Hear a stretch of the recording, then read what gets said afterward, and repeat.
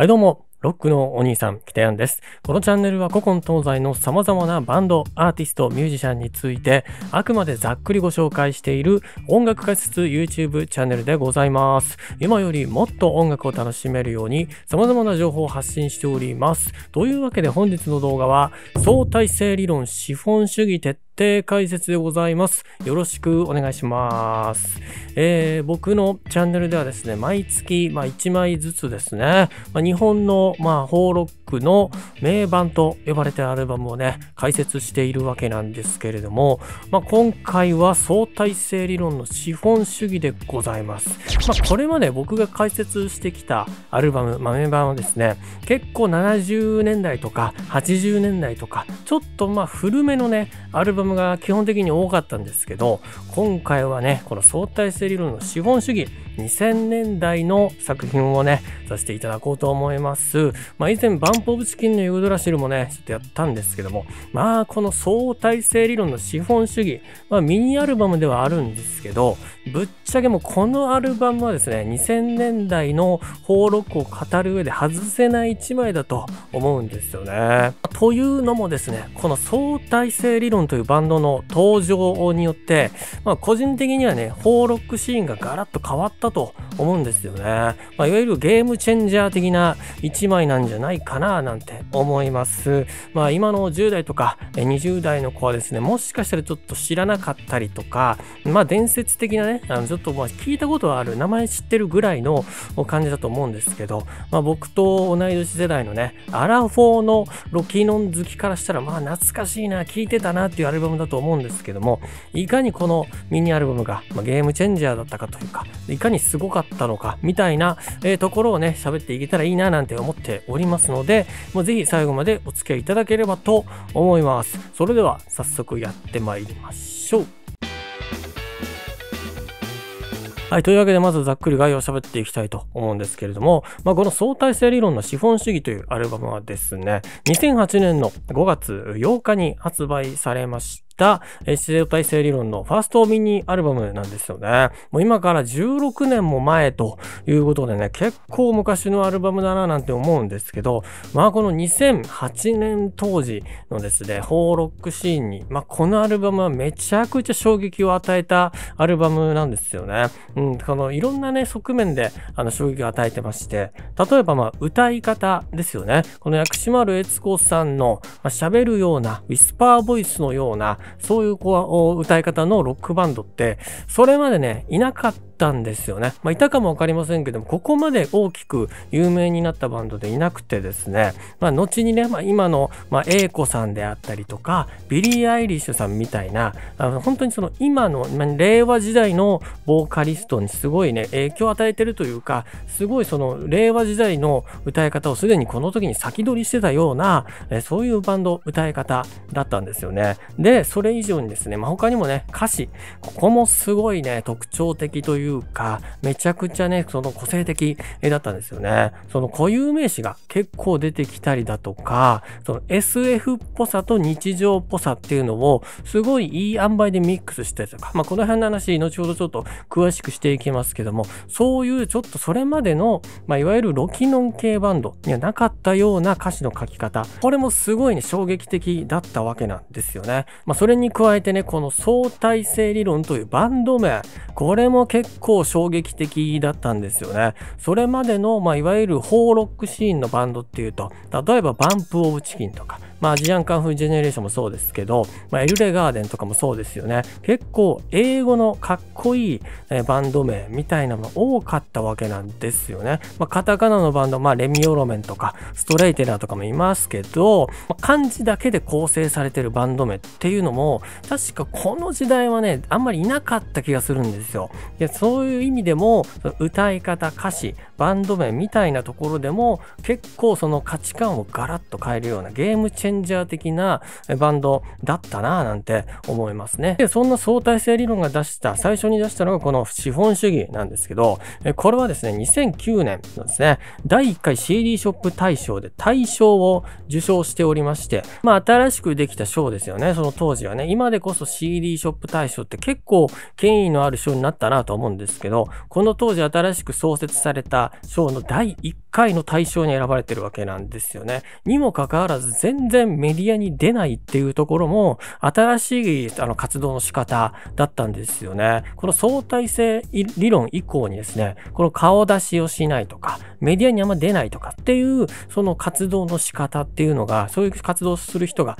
増えてきていったんですよね。例えば初期のパスピエなんかも結構その顔出しをしないっていうところで、一個そのなんかそういう活動の仕方、ミステリアスな活動してたんですけど、その先駆けとなっている部分もあるんですよね。で、そんな相対性理論の、まあ、ラブズッキンって曲があるんですけど、最近そのあのちゃんが出したね、中多様性っていう、まあ、チェンソーマンのエンディングにもなってたんですけど、この曲がね、まあ、相対性理論ラブズッキュンっぽいっていうことで、すごいちょっと話題になったんですよね。ちょっとパクリなんじゃないかとまで言われるぐらい、めちゃくちゃ相対性理論っぽいなっていう話題になったんですけど、まあ、それはそのはずでですね、その、この中多様性の作詞作曲にですね、相対性理論の真部修一さんが関わってまして、まあ、ご本人が作ってるからそりゃそうだよね、みたいな感じなんですけども、まあ、そんなですね、今のバンドシーンであったり、サブカルシーンにもめちゃくちゃ影響を与えているこの相対性理論というバンドの資本主義というアルバムをね、今回解説していきたいと思います。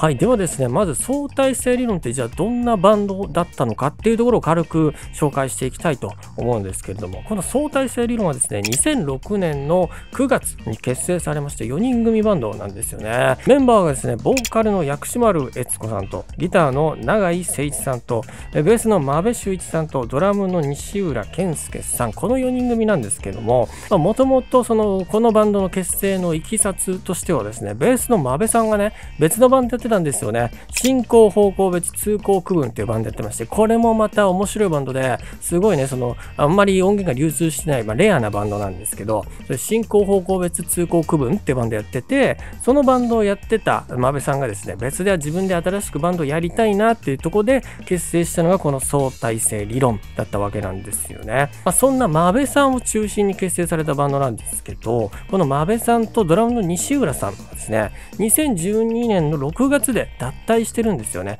なので今の相対性理論というか、その初期メンバーとしてはこの薬師丸悦子さんと永井さんと安倍さんと西村さんなんですけど、その結構そのメンバーの入れ替わりもしつつ活動しているバンドなんですよね。で、そんな相対性理論が2007年の6月にですね、自主制作でこの資本主義っていうミニアルバムを作ったんですけど、まあこれが話題を呼びまして、ライブ会場とかと通販でしか販売しなかったんですけど、なんと4000枚も販売しまして、これめちゃくちゃすごいですよね。自分たちで自主制作で4000枚も売り上げちゃうっていう、ま、大ヒットしまして、その後2008年にですね、5月にリマスター版が全国流通で発売されたわけなんですよね。で、ここでも大ヒットしまして、でタバレコ全店のウィークリー J-POP インディーズチャートで1位を取りまして、本当に大人気になったわけなんですね。で、その勢いで2009年第1回 CD ショップ大賞で大賞を受賞したわけなんですけど、この時にノミネートされてた作品がまあすごくてですね、例えば Perfume のゲームであったりとか、宇多田ヒカルさんのハートステーションとか、本当に有名なアーティストの名盤がね、すごい出てた年なんですけど、その並みいる名盤を抑えて大賞を取っちゃってるっていうぐらい、めちゃくちゃ高く評価されてるアルバムなんですね。で、そんなこの相対性理論というバンドなんですけど、まあ、サブカルにすごい大きな影響を後に与えておりまして、まあ、さっきも言ったようにね、まあ、今で言うとあのちゃんの中多様性に、ね、その一緒に関わって作ってヒットしたりだとかですね、まあ、歌い方、歌詞、バンド名とかそういういろんなところにね、バンドシーンに影響を与えてまして、その若者世代、今の Z 世代と呼ばれてる世代ですかね、10代、20代の人たちちからするとその自分たちがそのリアルタイムで体験してないしなおかつこの相対性理論とというバンドの、例えばライブ映像みたいなところも、ほとんど残ってないわけですよ。YouTube にないんですよね。なので、結構伝説的なバンドとして、まあ、語り継がれておりまして、まあ、そのリアルタイムで体験してきた僕ら世代というか、アラフォー世代でも、あんまりライブ映像自体見たことあまりないというか、そういうちょっと僕らリアルタイムでもミステリアスだったのに、後の世代でそれはミステリアスだよねと、謎だよねっていう感じなんですけど、そのしっかりその記録がないにもかかわらず語り継がれているっていうところも、このバンドの凄さを思い知らされるなって感じなんですけど、はい。では、そんな相対性理論が最初に出した資本主義というミニアルバムの話をね、本題に入っていきたいと思うんですけど、まあ、このミニアルバム全5曲入りで、まあ、全部の曲、それぞれの曲がですね、まあ、全部3分前後の曲時間なんですよね。なので、結構そのトータルで16分とか、それぐらいのアルバムなんでサクッと聴けるんですけど、まあ、それぐらいね、サクッと聴けるにもかかわらずめちゃくちゃインパクトのあるアルバムなんですよね。ね。で、このアルバムというか、相対性理論の歌詞全体に言えるんですけど、まあ、歌詞の世界観がですね、まあ、SF と日常の、ま共存をされてる歌詞なんですよね。ま、それまでの、まロキノンシーンとかの歌詞とはちょっとこう一線を画すというか、こういう歌詞今まで見たことないみたいな世界観の歌詞なんですよね。ま、SF っぽさで言うと恐竜とかタイムマシンとかそういう単語が出てくるんですけど、一方で、始業式とか、中央線とか、めちゃくちゃ日常的なワードが出てくる、単語出てくるわけなんですよ。そういうちょっと SF チックと日常のもう織り交ざってる、ミックスされてるような不思議な歌詞の世界観なんですよね。で、この SF かつ日常的っていうもので言うと、まあ、音楽以外で言うと、その漫画でね、このちょうどこの時代に SF かつ日常の漫画がヒットしてるわけなんですよ。それが銀玉なんですよね。まあ、銀玉はね、原作が2004年から始まってまして、まあ、アニメが2006年から始まっているんですけど、まあ、銀玉の世界こそね、その SF かつ日常的なコメディの漫画、アニメですけれども、そのこういうこう日常的な中に SF 要素があるっていうのが、まあ、ある種トレンドというか人気なジャンルではあったんですよね。まあ、これを狙って作ったのか、偶然その被ったのがちょっとわかりませんけど、多分偶然かなって思うんですけど、こういうちょっとトレンドも抑えてるっていうところも、まあ、ヒットの一個の要因になったのかななんて思うんですよね。この銀玉というね、作品もすごいサブカルの、こう、代表的作品というか、2000年代サブカルを、まあ、語る上でね、外せない作品なので、結構そのサブカルとの相性みたいなところも、まあ、この相対性理論、まあ、この資本主義というアルバムもね、ヒットした理由の一つなのかななんてなんて僕なんか考察しちゃうわけなんですけど、じゃあそんなアルバムの1曲目、スマトラ警備隊というね、まあ結構その特徴的な独特なタイトルの曲から始まるわけなんですけど、まあこの1曲目はですね、すごい1曲目にふさわしい、とても勢いのある曲ですね。イントロのこうダダダダっていうね、こうみんなで決めをするところから始まるんですけど、この決めがね、完全に決めきれてないっていうところがいいんですよね。若干ちょっともたついてるっていうか、絶妙にもたつついてるっていうところがめちゃくちゃバンドの音として生々しいなって思うんですよね。でそういうちょっとスピード感のある生々しいバンドサウンドにその喋り声のような抑揚のないボーカルが乗っかってくるっていうところが当時めちゃくちゃ衝撃的だったんですよね。まあ、こういうタイプのボーカルってあんまり当時聞いたことがなくてそこでのギャップで一気に心つかまれるわけなんですよね。で、さらにその歌詞の中で、まあ、この曲に限らずなんですけど、めちゃちゃくちゃ固有名詞が出てくるわけなんですよね。この固有名詞を歌詞に盛り込んでくるっていうのが、ちょっとヒップホップ的な手法だなって個人的には思っちゃったんですけど、まあ、例えば CIA とか、まあ、共産党とか、ゲームボーイっていうね、単語も出てきたりとかして、めちゃめちゃ固有名詞が出てくるっていうところ面白いなと思ったんですよね。まあ、その2000年以降の曲というか J-POP 含めてですけど、あんまり固有名詞って、あの歌詞の中に出てきてないんですよね。90年代まではまだ固有名詞入れてたかなと思うんですけどね。特に小田健さんとかは、割と意識的に盛り込んでんのかなとは思ってたんですけど、まあそのいわゆるロキノンっていう一個のジャンルが確立してから割とこういう固有名詞をがっつり入れてくるっていうのが珍しくて、あ、すごいちょっとその、それまでのバンドとはまた歌詞の書き方違うなっていうのも、これもまた衝撃的だったんですけど、まあなんで固有名詞が減ってきたのかっていうところは、まあ諸説ありますけど、まあその NHK に出るときに、その歌詞を一部変えなきゃいけないみたいな規約というか規制があってて、その徐々に固有名詞が減ってったんじゃないかみたいな見方もあるんで、そういう歌詞の、まあその変遷というか、その時代とのこう、すり合わせみたいなところもあるんですけど、そこにちょっとこう反抗していくというか、そんなの関係なくもう歌詞に盛り込んでくるっていうところも面白いんですけど、このね、スマトラ警備隊、えわずか2分42秒の曲なんですよ。めちゃくちゃ短いんですけど、本当に駆け抜けるような一曲で、本当にめちゃくちゃかっこいいんですよね。聴いてるとバンドやりたくなるような曲なんですですけど、それぐらい無駄のない一曲だなーって思うんですけど、そこから2曲目のラブズッキュンに行くわけなんですよ。この1曲目と2曲目のね、流れが僕は完璧だなと思うんですけど、このラブズッキュンこそね、相対性理論を一躍有名にした一曲なんですよね。このラブズッキュンっていうタイトルから、なんだこれって思っちゃうというか 引っかかるというね、本当にそういうタイトルの付け方もめちゃくちゃうまいなって思うんですけど、まあこの曲ね、とにかく中毒性が高いですよね。そのサビの、まあ、ラブラブラブズッキンって繰り返すところも、とにかくね、癖があって引っかかるわけなんですけど、中毒性あるんですけど、そういうサビもさることながら、やっぱ A メロとかの言葉遊び、言葉遣いもめちゃくちゃ引っかかるわけなんですよね。例えば、明日は始業式とかね、あいつ発明キットとか、他のバンドの歌詞で出てこないような、そのワードであったり、言い回しってとこが出てきて、こういうとこも中毒性があるな、癖があるなって思うんですけど、このラブズッキュンという曲がね、さっきも言ったように、あのちゃんの中多様性に似てるんじゃねえかと、パクリなんじゃねえかみたいな ところでね、言われるわけなんですよね。まあ、Google のね、サジェストにもですね、中多様性スペースパクリって出てくるくらい、本当にそのパクリ疑われてるわけなんですけれども、まあ、曲構成も似てたたりね、そのサビのちょっとリフレインしたり、その繰り返すみたいなところも似てるんで、そのそう言われても致し方ないのかなとは思うんですけども、まあ、さっきも言ったようにね、作詞と作曲にこの相対性理論の初期メンバーの馬部さんが関わってるんで、まあ、ご本人が作ってるんで、それはそうなるよねって感じなんですけど、そのわざとこういうラブズッキュンっぽさというか、そう初期の相対性理論っぽい曲にしたらしいんですよね。馬部さんがインタビューの中でですね、セルフパルディに近い形で、しかも作品としてのクオリティをちゃんと担保しつつ、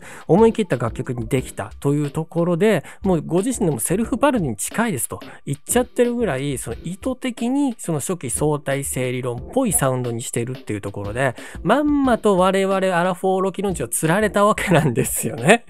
初めて中多様性聞いた時、これ相対性理論パクリやんみたいな、ついつい言いたくなっちゃうっていうか それは意図して本人が作ってんだからそうだろっていうね、その 蓋開けてみたらそうなんですけど、まんまとやっぱ釣られてしまったわけなんですけれどもね。ちなみにこの曲が発表された時期というか、資本主義で出されたのと同じ時期にですね、クラブプリンスさんにラブドッキュンって曲出てまして、果たしてラブズッキュンとラブドッキュン、どっちが先なんだというか、影響を受けてんのかっていうところもちょっと謎ではあるんですけれども、こういうね、ラブドッキュンっていう曲もね、まあ面白いパーティーソングなんで、ぜひそっちも聴いてほしいなと思うんですけど。はい。で、3曲目がですね、夏の黄金比ですね。まあこの曲もすごい疾走感のあって爽やかな曲なんですけど、まあ、この曲はですね、よくザ・スミスの影響が濃いと呼ばれてる一曲なんですよね。まあ、ザ・スミスっていうのは、えー、1980年代のマンチェスターの、まあ、バンドなんですけれども、ザ・スミスっぽいと言われてることが多いですね。まあ、クリーンなギターのアルペジオであったり、まあ、直線的なね、ビートであったり、その辺がザ・スミスの影響めちゃくちゃ受けてると言われてましして、まあ、ご本人たちも結構その影響を受けたバンドとして挙げてるんで、まあ、それそこは間違いないのかなと思うんですけども、この曲が面白いのが、その A メロとかとサビで一気にガラッと雰囲気が変わるところなんですよね。まあ、A メロとかの歌詞見ると、ちょっと夏の、ひと夏の恋みたいな。ところが描かれてるんですけど、その、サビになると、ひたすらコントレックス箱買いっていうフレーズを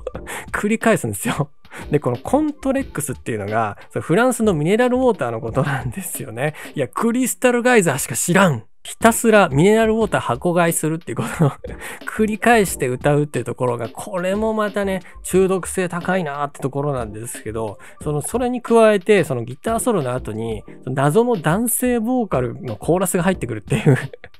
ところも面白くて。で、この男性のコーラスがね、いい感じに下手馬なんですよね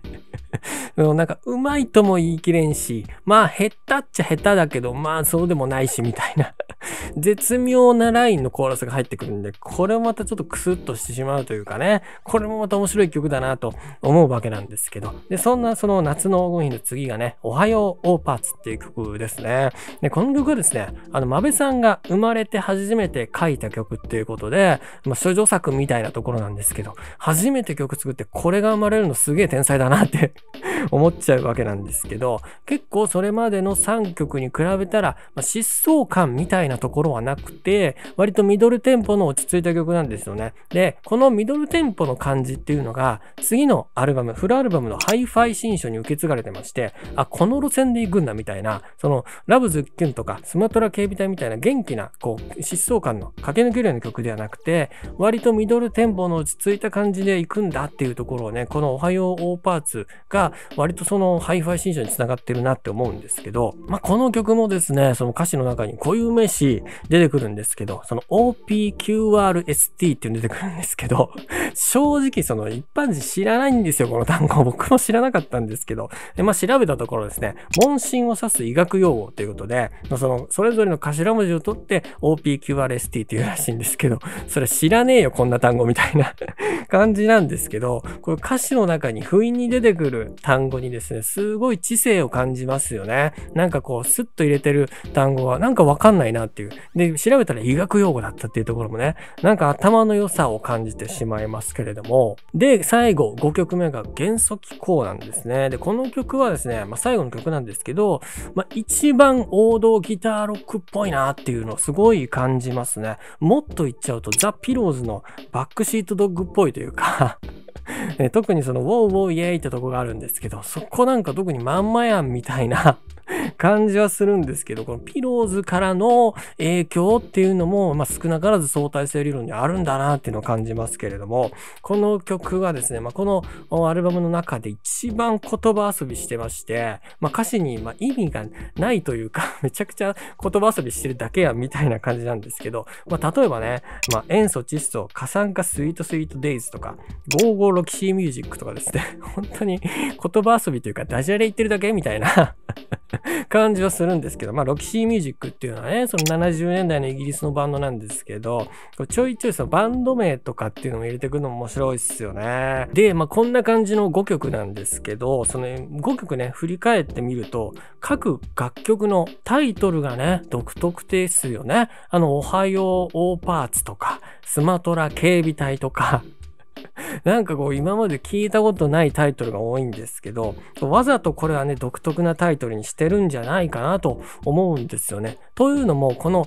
あんまりその聞かないというか独特な曲タイトルにすることによって、検索をした時に出てきやすくなるっていう部分を狙ったんじゃないかなって思うわけなんですよね。で、この時代、2008年どういう時代だったかっていうと、えー、2008年の4月に Twitter が日本でサービス開始したりとか、Facebook もね、2008年5月に、まあ、サービス開始したりとかしてですね、まあ、SNS っていうのが本格的に、まあ、日本に入ってきた時代だったわけなんですよね。それまでは Google で検索するしかなかったような時代に SNS が入ってきたよっていう新しい時代が、インターネットの新しい時代来たっていうような時代だったんですけど、そういう時代背景も踏まえて、まあ、SEO 対策みたいなところも加味して、こういうちょっと独特なタイトルにしてたんじゃねえかなって僕なんか考察しちゃってるわけなんですけど、まあ、あとですね、このそれぞれの曲時間の短さ、これもすごい特徴的だなと思ったんですよね。まあ、全曲3分前後、3分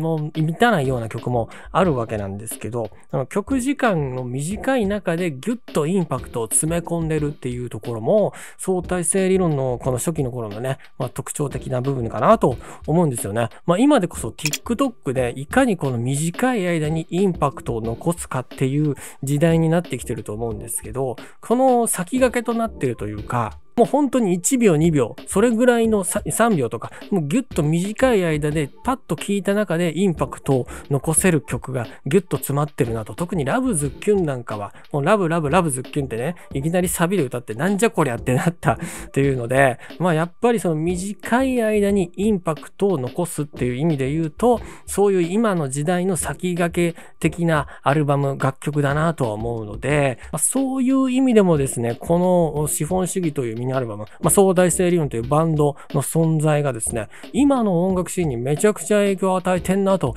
個人的には思ったりしちゃうわけなんですけれども、この相対性理論の資本主義というミニアルバム、まあ、ラブズッキンは知ってるけど、みたいな人もですね、ぜひこのミニアルバム全体を聴いていただくとね、後の今の時代に、えー、与えた影響みたいなところもちょっと見えてくるかもわかりませんので、ぜひ聴いてみていただきたいなと思います。